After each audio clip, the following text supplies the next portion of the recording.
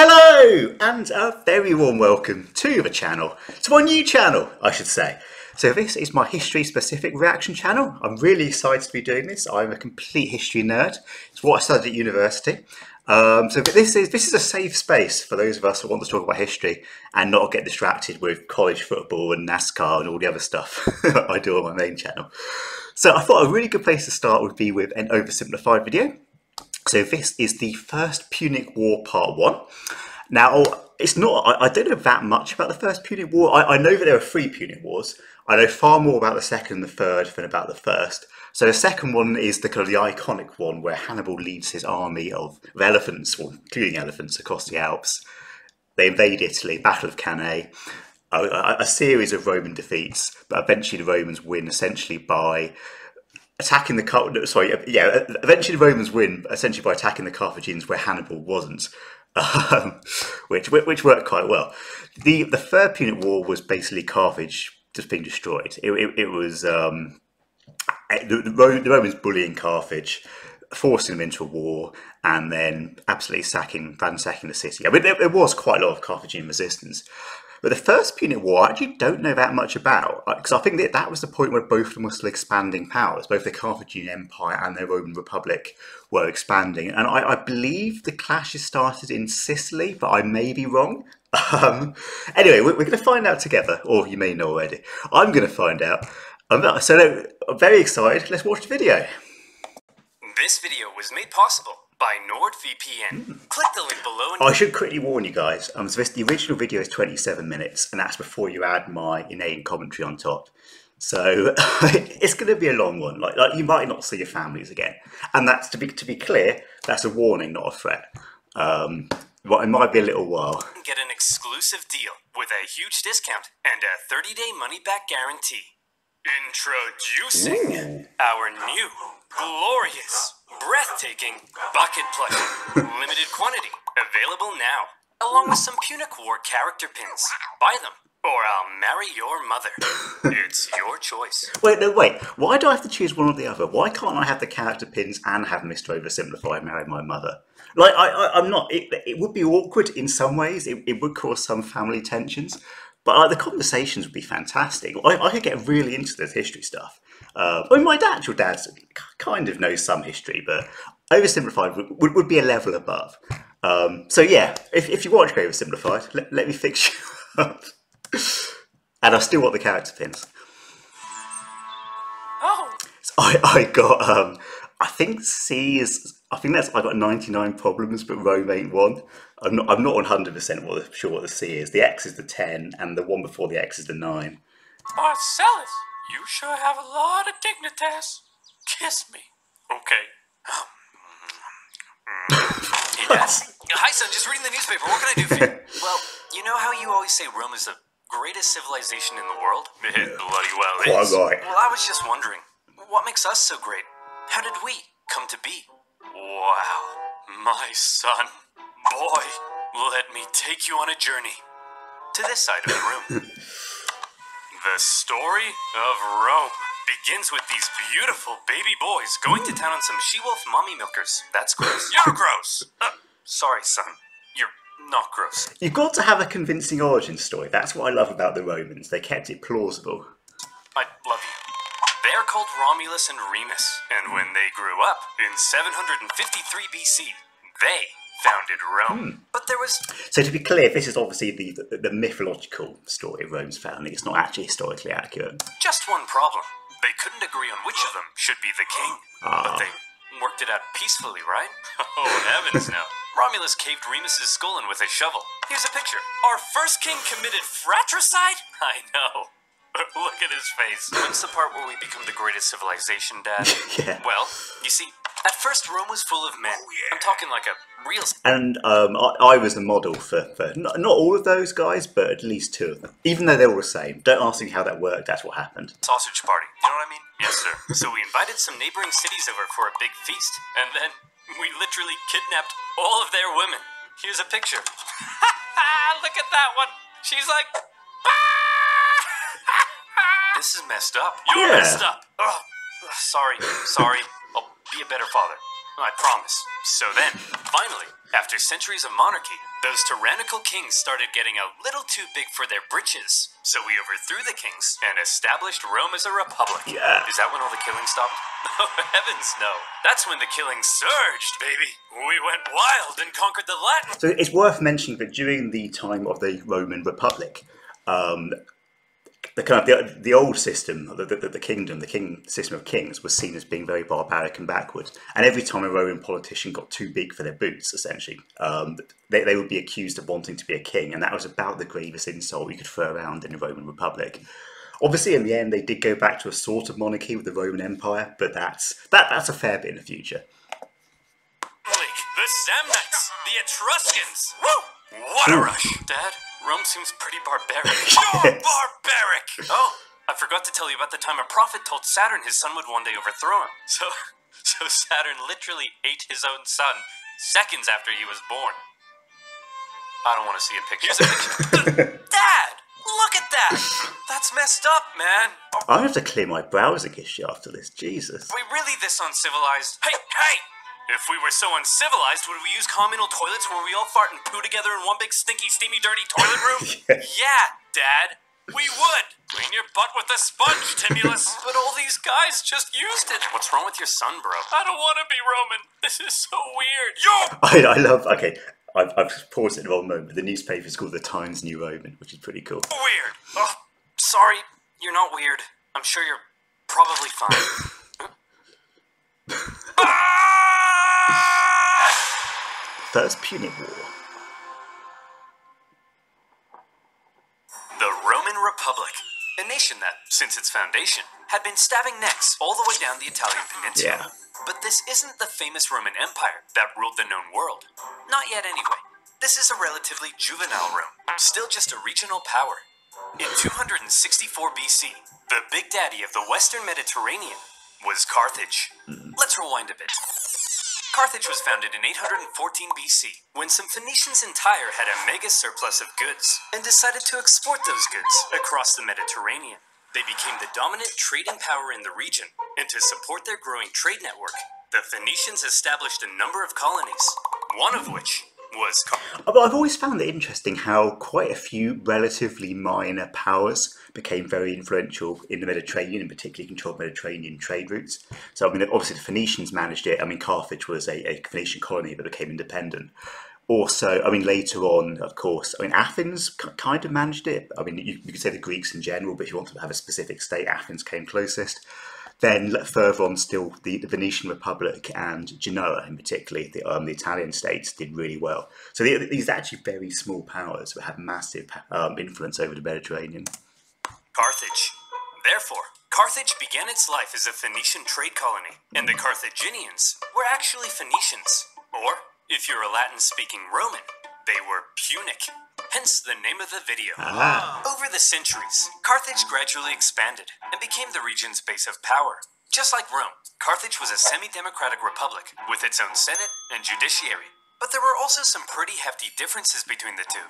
While Rome was big into farming and stabbing people in the neck, the Carthaginians, on the other hand, just like their Phoenician forefathers, had built their power through trade and navigating the waves. They went here and there, selling ivory tusks, gold, Well, all the way to- slaves. all the way to And as a result, they were rolling in it. Whenever they weren't busy swimming around in their copious hoards of money, in their spare time, they also possibly enjoyed sacrificing their children to Baal, the Yeah. god of. Let me just check my notes. Ah, yes. Plant fertility. Oh boy, these figs aren't. So it, this is really interesting. The, the whole Carthaginian human sacrifice thing. Um, for a very long time, I mean, the, Romans always said that the Carthaginians practiced human sacrifice. For a very long time, historians didn't totally believe them. They thought this was probably Roman propaganda. Um, but more recent evidence suggests that actually, yeah, the Carthaginians did do human sacrifice. So, you know, perhaps makes what happens to them later a bit more understandable. aren't looking too hot. Maybe if I throw my son into a burning pit of fire, he'll grow. Have you tried watering them, Dad? Hmm. That's boring. No, try that second. As a result of all their trading, Carthage had emerged as one of the Mediterranean superpowers. Hmm. But wait, they said. Rome? What the heck is that? Well, I know it's a pretty obscure little country that you've probably never heard of. But this spunky young nation was about to upset the entire region's balance of power. Initially, the two sides enjoyed relatively friendly relations, The and had even signed a couple yeah. treaties. But it was a relationship that was practically destined to turn sour. See, Rome had a thing where they liked to aggressively expand their boundaries, often viewing such expansion as a defensive act. Kinda like when you kill your neighbor, because you knew eventually they would have tried to kill you first. Meanwhile, It's, it's crazy just how many world leaders or how many civilizations phase their um, betray their own aggression as as defensive. I mean, the British Empire did it all the time. I mean, in the modern world, Putin is is pretty renowned for this. Carthage was extremely protective of its wealthy trade network. So if you put a very strategically important island between them, well, 2 plus 2 equals war. Tensions rose, and the two sides began viewing each other with increasing disdain. The hard-working Romans looked across the water at the money-hungry Carthaginians and said, Look at those dishonest crooks. Bet they've never done an honest day's work in their lives. And the Carthaginians looked back and said, Look at those simple-minded brutes. Bet they've never sacrificed a baby in their lives. Yeah! While war between the two superpowers seemed inevitable, the event that finally triggered it was a little unexpected. The whole thing began with a few simple mad lads on a wild night out. These mad lads are called the Mamertines. They were Italian mercenaries employed by the tyrant of Syracuse, here. But when he died, his successor said, Sorry, fellas, we don't need any big burly men with sharp sticks anymore. You can all go home. The Mamertines, as it turned out, didn't want to go home. So instead, they went to the nearby town of Messana and said, Hey man, we are but poor little buff boys without a home. May we come in? Aw, poor fellas. I think I, I'm trying. to remember, I think Syracuse was primarily a Greek civilization or, or, or state. I, I might be not totally sure about that. Um, after after go and check, I've, I've, I've aroused my curiosity, and that's the only thing I've aroused. To be clear. Sure thing. Uh-uh. Just so long as you promise not to massacre all of us. we promise. The Mamertines Yeah. massacred all of them. Well, not all of them, just the men.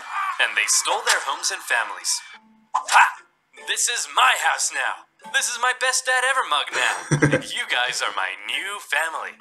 How can he have a best dad ever mug? Because I got my dad a best um, dad ever mug, and there can't be two of them because that would be a lie. So now I'm really confused. Son? Wanna go play catch with your old papa? You're not my real dad! Ugh. Teenagers. Am I right, dear? You're not my real husband! Ugh, I'm so trapped in this marriage. Then get out! Go fishing. No, Messana was now controlled by the Mamertines, and they began raiding up and down the Syracuse coastline. When the new ruler of Syracuse saw this, he wasn't happy. The Syracusans began fighting back, and in response, the Mamertines said, Oh crap, they're fighting back? What do we do? Quick, we'll convince the Carthaginians to come and save us. Oh no! We're in trouble. And we need a big, strong empire to come and rub our bellies. Why are you saying it like that? If I was a big, strong empire, I think I'd like to be seduced. See? It's working! The Carthaginians had long dreamed of controlling all of Sicily. They had been fighting Syracuse and their Greek influence on the island for centuries. And now, Yeah, they, yeah, they were Greek. I, I thought they were. here was a great opportunity to get one over on them. So Carthage promptly answered the Mamertines' cry for help and sent a force to garrison Messana. As Yeah. it turned out, however, some within the ranks of the Mamertines weren't too happy with the occupying Carthaginians, and they sent out a second cry for help to Rome. When it reached the Roman Senate, they These guys love crying for help. were a little more hesitant. Going to help the Mamertines ran the risk of triggering an all-out war with Carthage, and they had only just finished conquering the Italian peninsula, so they were kind of tired. Plus, the Mamertines were all the way across the water. They had never made a leap like that before, so you would assume that to avoid any conflict with Carthage, the exhausted Romans would probably sit this one out. But you would assume wrong. Yeah. Rome just couldn't resist a good chance for war.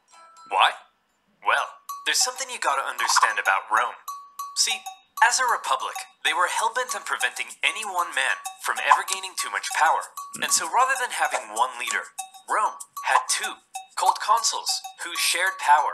These consuls could also only serve for one year at a time, before new consuls were elected. These measures to limit the powers of the consuls were noble, but had an interesting side effect. the consuls knew they had just one year to try and gain as much glory and prestige as possible, something that was very important in Roman society. And the best way of gaining glory and prestige military victory. So this is a really interesting point. There's, been so much debate about why the Roman Republic was as aggressive as it was um, compared to other states. I mean, uh, this this probably is the most convincing explanation. I mean, other than the fact that they were very good at war, but what, why they were specifically so aggressive was because um, essentially political success in the Roman Republic was intricately linked with with military glory. Uh, and, and to get to get popular support, you needed military victories. That's, they, the two went hand in hand. So it, it, made a huge incentive for, for Roman politicians, Roman generals, to become um, militarily aggressive. Of course. The Roman political system basically ended up encouraging these consuls to go out and be as aggressive as your Italian grandmother when you don't exactly. eat all the spaghetti. and so the glory seeking consuls convinced the people to vote in favor of going to Messana. and in they went. Upon the arrival of the Romans, the Carthaginians in the city, amongst the confusion, were forced to leave. Now, in contrast to Roman aggression, the Carthaginian military had a slightly different philosophy. Alright, kids, Listen up. if you want to grow up to be Carthaginian military leaders, there's a few things you have to understand. If you fail to succeed on the battlefield, that's a crucifixion. Showing cowardice, that's a crucifixion. Hello, sir. What? What are you doing here? Aren't you meant to be in Messana? Yeah, but the Romans showed up. So you just left? Sure did. Oh, you better believe that's a crucifixion.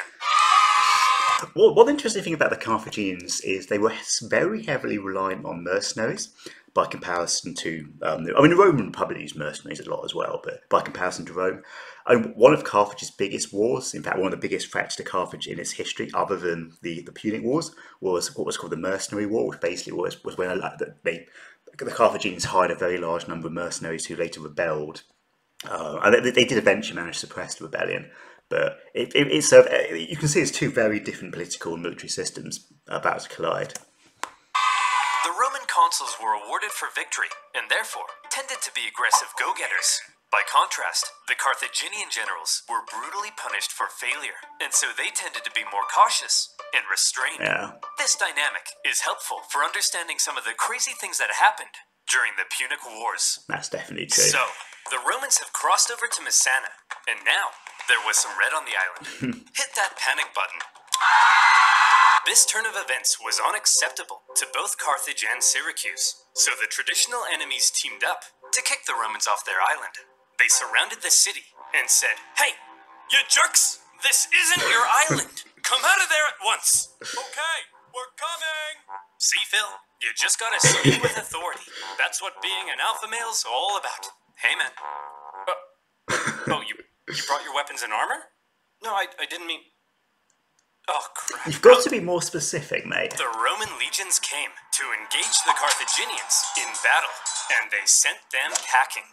With the Battle of Messana, whether intended or not, by going to help the Mamertines, the two sides had just slipped into an all out war. With the initial Roman victory, towns across Sicily, including Syracuse, began switching allegiance. Because being a winner is more fun. But the Carthaginians weren't about to just give up that easily. In 262 BC, they began building up their forces at Agrigentum. So the Romans, being aggressive go-getters, aggressively go-got them. The Romans immediately laid siege, hoping to starve out the Carthaginian garrison. However, because this was the first time Rome had been fighting outside the Italian peninsula, across the water, they struggled to supply their forces. Ah, so this is going to become a, a, continuous issue for the Romans in the First Punic War. Um, was they had very little. I mean, uh, as indeed the, the has already said, they had very little naval power. And one of the kind of big miracles of the First Punic War is that the Romans actually did manage to build a, a powerful navy and kind of fight the Carthaginians at what the Carthaginians were best at. Before long, the Romans were as starving as the Carthaginians they were besieging. They had to forage for food, leaving them open to ambush. And when Carthaginian reinforcements arrived, creating a double siege, things and th- this, of course, well, um, reminds me of one of Julius Caesar's, Julius Caesar's famous battle against the Gauls, where he was besieging a, a, a Gallic encampment, um, and another Gaulic army turned up and besieged him. It is sort of a weird double siege, and, and he he won that. So really bad. Everybody starved each other for months until nobody could take it anymore, and they all finally came out for battle, which Rome won. ooh, Here's the report from the recent siege at Agrigentum, sir. We killed 30,000 while only suffering 7,000 losses? That's amazing! We're the best! yes, sir. Oops, those are the wrong. what? We lost 30,000? so that, that that that's like a definition of a Pyrrhic victory. The worst! But we won, right? Yes, sir. But we also got our asses kicked. Yes, sir. so are we the best or the worst? Yes, sir. The Romans wanted Agrigentum because they were aggressive go getters, and they now began eyeing up the possibility of conquering the entire island. But they also suffered very heavy losses, and it was clear they couldn't sustain a campaign if they couldn't supply their troops. Here's the issue Sicily was an island. Islands are surrounded by water. Yeah. A strong navy would be vital for supplying troops and winning the war. Here was Carthage's navy, and here was Rome's. I think you can see the problem. Yes. Historians debate just how much naval experience Rome had at this point. Presumably, they must have had something to defend their shoreline. But whatever it was, it would have paled in comparison to the Carthaginian juggernaut. So what's yeah, interesting? The, the way they're um, they're showing the Carthaginian navy here on oversimplified, they're basically kind of Greek-style triremes. I don't know if that's actually what they had. I mean, it, it, it may well have been. I don't know. If, if you do know, please comment below. I'll be really interested. And so Rome had to figure out exactly what to do about all this water. Come on, men. We're not gonna let some pansy candy ass water get in the way of our glorious victory against Carthage. Charge! Tell my kids I love Try a boat. We're gonna need a bigger boat. What's a boat? I don't know. If the Romans wanted to win this war and obtain Sicily, there was only one thing for them to do. I guess we're just gonna have to go ahead and build ourselves a war fleet, aren't we? From scratch? From scratch. But we don't even know how! Never mind how to fight with one. Don't worry, Hank. We're up to the challenge. Come on, guys. We're Romans. And Romans aren't afraid of anything. And so, the Romans worked long and hard trying to figure out how on earth you actually build the latest style of warship. Can you imagine if they got the? I, I, I, obviously, I know, I know it's not real, but can, can you imagine if that actually works? Like having like a maybe not a fin, like a, a whale on that, like that, putting like a giant cart across the water. In the end, they Kind of want to try it, which I know is really evil of me. had a bit of luck on their side. A Carthaginian quinquereme ended up accidentally Ah. grounding on Italian soil. The Romans found it and copied the design. While the new fleet was being built, the Romans trained rowers on land. And would you believe it? The Romans put together a full fighting fleet of 120 warships in Oof. just two months. That's- a that's- wow. feat. That's that's insane. Now, I know what you're thinking, but oversimplified. If the Romans can build a war fleet from scratch in two months, then why does it take you half a year to make a video? Well, my valued subscriber. As as an even more lazy YouTube creative and oversimplified, considering how much less work I have to do, I'm, I'm not going to get into this argument. I think you should shut up. what the heck?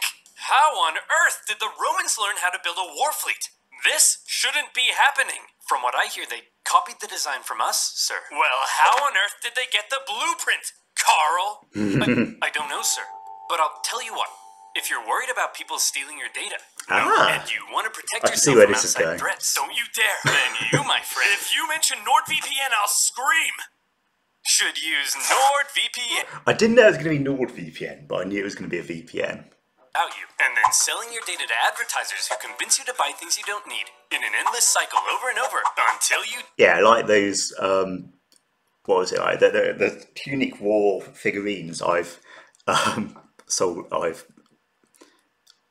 married off my mother to oversimplified for. protect your online data from undesirable eyes. That means you can look at all the squatty potties you want. and no one will know. With NordVPN, you can search for better online deals in other I mean, when you say it that way, it becomes pretty irresistible, doesn't it? country. NordVPN now comes with a threat protection function and much more. And if you don't like it, it comes with a 30-day money-back guarantee. Go to nordvpn.com slash oversimplified to get an exclusive deal with a huge discount. That's nordvpn.com slash oversimplified. And as always, you'll be supporting my channel. Go So do that. Go Now, support the channel. we? Oh yeah, the siege at Agrigentum, supply issues, and building a war fleet. So now the Romans have a navy, and it's time to put it to the test. But how does one wage ancient naval warfare? Easy. All of the ships had giant bronze rams on the front, so all you had to So do. that's exactly the style of trireme. Um, you try, you, you hit them with the ram, try and, um, if possible, punch a hole inside, or um, otherwise disrupt it. I mean, there was some boarding action as well. was outmaneuver the enemy and give him the jimmies. Easy as pie. And so the aggressive Romans set out for some good old fashioned jimmy giving. The consul, Gnaeus Cornelius Scipio, set out for the town of Lipara, believing So interestingly, the, the guy that actually conquered Carthage in the Third Punic War was called Scipio. I'm assuming it's not the same guy, considering that this must be quite a long, a lot. I think it's quite a lot of time earlier. Um, but I don't know if he's going to be like his, if they're related or something. Again, I'd be, I'd be really interested to know. Um, please, if, if, if you know, please do comment in the description. the garrison there Not the description.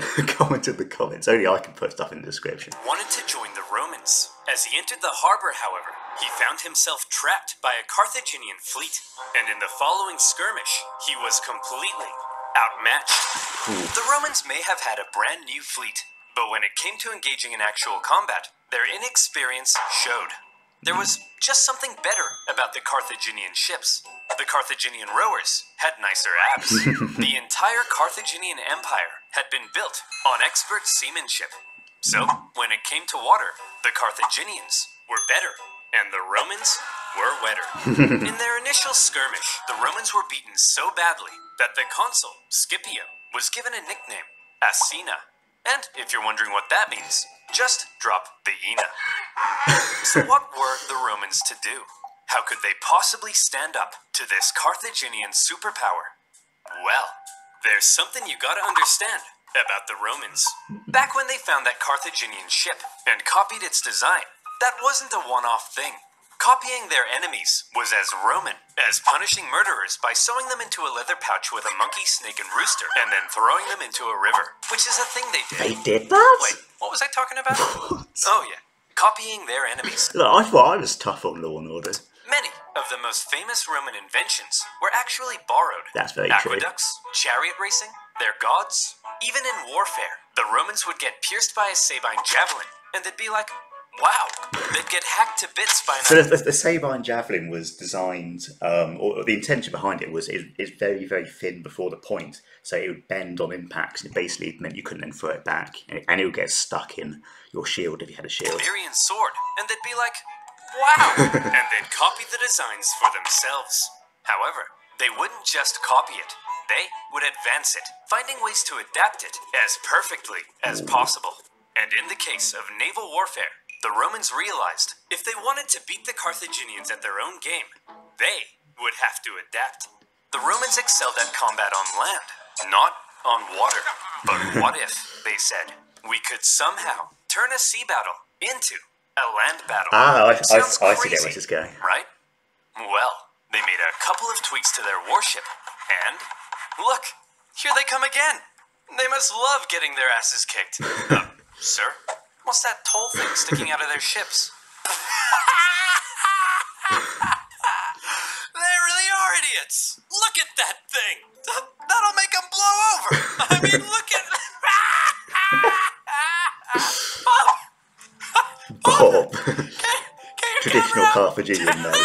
Take a picture of it. Ah! Ah! I mean, how stupid can you be? Let's just add a big wooden tower to our ship that'll weigh us down and blow us over in the wind. I mean, what does that thing even do?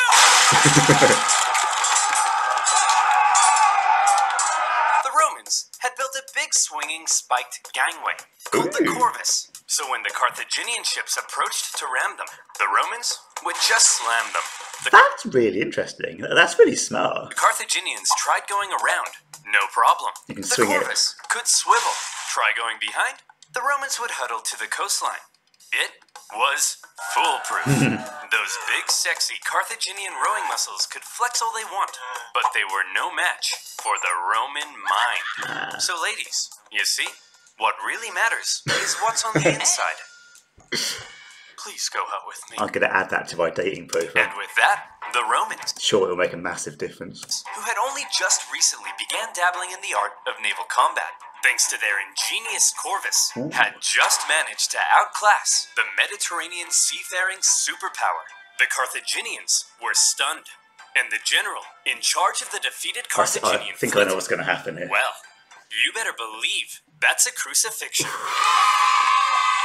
With their newfound control of the seas, the Romans could now more easily blockade coastal cities and supply their legions on land. Surely, the Romans were now free to unleash their aggression all over the island. Haha! Hey, Carthaginians, what are you gonna do now that we're free to rampage across the island? We're gonna go inside these walls and close this gate. Oh, come on, guys. Stop messing around. Come out so we can kill you. No. oh, come on. No.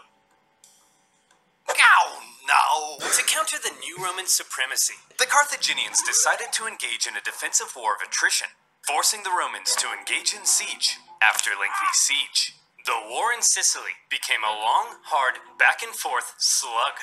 One by one, cities slowly fell as the Romans gained ground. Occasionally, the Carthaginians countered and even pushed them back, only for the Romans to rebound again. And whenever a city did finally fall, the Romans could delight in slaughtering the entire population and selling any survivors into slavery, which Yeah. was pretty standard procedure at the time. In general, the campaign on land was progressing much slower than the Romans had hoped, and quite frankly, they were getting I mean, you see, the, the irony is, um, obviously, we, we think of the Roman Republic as being, and, and indeed to some extent the Roman Empire as being the height of civilization in their era, which is kind of true. But even by by modern standards, they were horrendous. I'm sick of it. So in 256 BC, they decided that something had to change. Hey everyone, my name's Marcus Atilius Regulus, and I'll be one of your consuls for this year. Look, as I'm sure you all know, Sicily's being a bit of a drag. Sure, I could go and spend my entire year as consul besieging one single city, but they'll never make a naked statue of me for that. So here's the new plan. I'm gonna skip Sicily entirely, take my army, and go right for the heart of Carthage itself. I'll Ah. slaughter the men, enslave all the women and children, and when I return, you'll all build a thousand naked statues of me. Marcus, that women and children stuff, that seems pretty evil and barbaric. No, Jim, it's perfectly normal in the ancient world. Sometimes we even chop their pets in half. Okay, guys, looks like the Romans are coming straight for us this time. And what will they do when they get here? They'll kill us all. They'll massacre each and every last one of us. They may even chop our pets in half. That's barbaric! No, Rob, Quite right. actually pretty normal for the time. Mm, We'd do the same to them. Who will protect us? Funny you should ask, Mary. That's kind of why I called this meeting. Who will protect us? Protect our families, our homes, our children. I volunteer. it's getting too emotional. I'm Spartacus. You guys? Ha! Don't make me laugh. Why, you're just a bunch of stupid and weak farmers. Simple minded buffoons. Cowards. Fools. I uh, regret saying I was going to fight for this guy. Rob here thinks enslaving women and children is barbaric. You're a snowflake, Rob. yes, you are. The fact is, if the Romans manage to land on African soil, we're all gonna die. A terrifying, hideous, unspeakably painful death. So inspiring. That the end of that speech? yes. The Carthaginians had to stop the Romans from ever landing in Africa because they believed that would be the end. So, as the Romans were building an invasion fleet, the size of which the world had never seen before, the Carthaginians were preparing an even bigger one to stop them. And in 256 BC, as the Roman invasion fleet made its way south, the stage was set for a humongous battle that saw 680 warships, around 300,000 men, fighting to decide the course of the war. So one of the things, uh, assuming these numbers are accurate, I'm, I'm always a little bit skeptical on, on numbers for ancient battles, particularly if they're based on source material because they, they always exaggerate it like mad. But it's kind of interesting how the sort of numbers that were fielded by armies in, in the ancient world, or by the, the main powers of the ancient world, weren't really matched again until kind of the end of the right, the end, very end of the Middle Ages. Um, so 150,000 against 140,000. I mean, I mean, like take a, a, famous medieval battle like Agincourt, for example. I mean, I, I, again, we don't know the exact numbers, but I mean, 7,000 against 30,000, maybe. Um, I mean, the, the numbers are just crazy. To this day, the Battle of Cape Ecnomus remains possibly the largest naval battle Hmm. in human history. All the way back. That, that's kind of why I'm a little bit skeptical about the numbers. Um, because it just doesn't seem plausible, but you know, I'm, I'm not an expert on the era, so perhaps, perhaps it was. in ancient times. So the next time your granddad tells you about the time he sank a Japanese aircraft carrier, kick him in the nuts. The Romans had a lot riding on this battle. They weren't just sending their warships, but transports as well, full of supplies and horses for their invasion of Africa. They therefore formed a protective wedge-like formation to punch through the long, thin Carthaginian line. The Carthaginian generals, however, desperate to prevent the Romans from reaching Africa, had a plan of their own. As the Roman fleet approached, the Carthaginian center feigned a retreat, luring the Romans in so their outstretched flanks could envelop them and get around the Roman corvus. Oh, the clever Tara plan. transports. But with such a huge battle and so many ships crowded together, the Carthaginians struggled to maneuver as hoped. and in the chaos, three separate battles emerged across the huge battle space. With the number of ships limiting their ability to maneuver, the Carthaginians became sitting ducks, and all the Romans had to do was start swinging. the Romans It's interesting that the Carthaginian, the Carthaginians didn't, by the sound of things, um, mimic the Romans and also use these kind of boarding ramps. Or perhaps they just wanted to avoid boarding altogether if they weren't very good at um, that type of fighting. center came out on top and were then able to turn around and rescue their pinned down flanks. The Battle of Cape Ecnomus was a Roman victory. Well, that is, um, uh, I say, I, I'm learning a lot of new stuff. Um, this is not an era, an era I know very much about, so that was really interesting. I'm very excited for part two. I say this is a new channel, but if you haven't already, please do subscribe. Um, please hit a like. I know I think that's really useful, and I really hope to see you again. Thank you very much.